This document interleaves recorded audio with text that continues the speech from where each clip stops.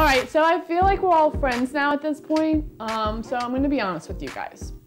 One, I am violently hungover. I feel like I've been hit by a Mack truck. Two, I do have waffle fries and chicken nuggets on my shirt, and I'm really looking forward to getting some Chick-fil-A. Three, I was so wrong about Illinois. Everyone can line up and kick me in the ass um, because I deserve it. So let's talk about the Sweet 16.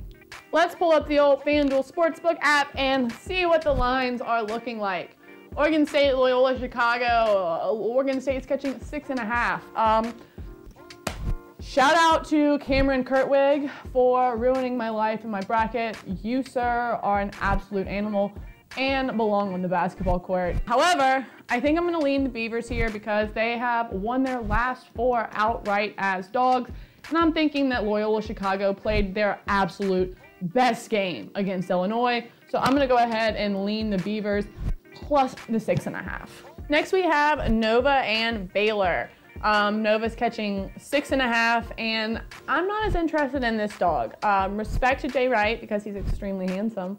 Um, and he's a great coach, obviously. Um, but Baylor has been an absolute unit, like, has been rolling people. They look like they are out there playing so cohesively. Uh, I think they forced nine turnovers in the first half of that Wisconsin game.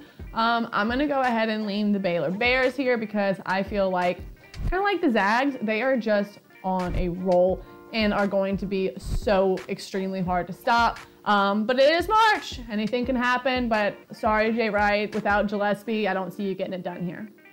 Next, we have Oral Roberts and Arkansas, and Oral Roberts is catching 11 and a half.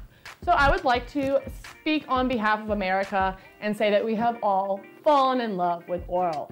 Yes, Oral Roberts has been an absolute force, and they are catching 11 and a half in the Sweet 16 spot um, against Arkansas. And look, SEC girl, however, I am riding this Oral Roberts train until it gets me to the station.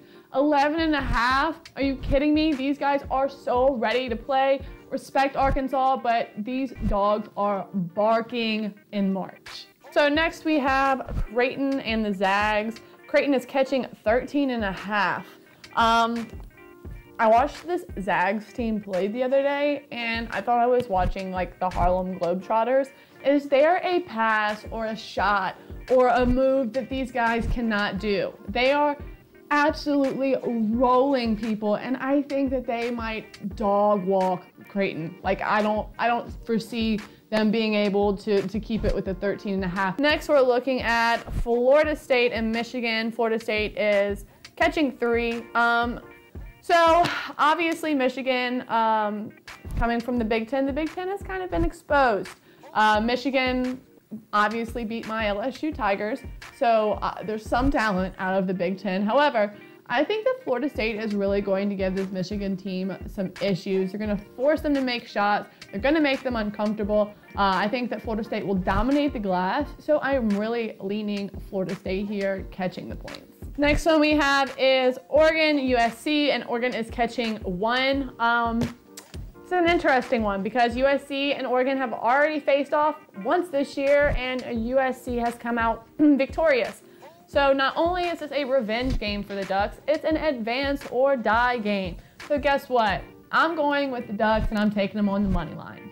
So the last game we have is UCLA Bama. UCLA is catching five and a half. Um, so the SEC girl in me obviously wants to say roll tide. Um, but you know what I like better than the SEC? Money. And you know what has been money this entire tournament? The Pac 12. And yes, I know Alabama played an amazing game the other day. However, Five and a half is a lot of points. All right, y'all, that's all I got for this week. That is your breakdown of the Sweet 16, and hopefully I am on the right side of some of those games. Best of luck. I'm going to get some Chick-fil-A, and let's make some money.